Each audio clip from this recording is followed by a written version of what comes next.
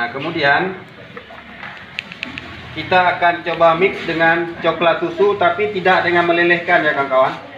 Ini coba kita buat konsep baru hari ini.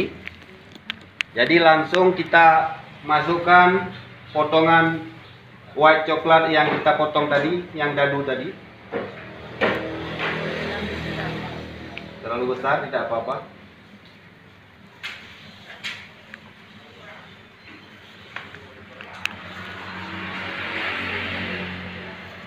Halo, hari ini Cadu Coklat bersama Cokorot hadir di Banda Aceh dalam pelatihan produk olahan coklat.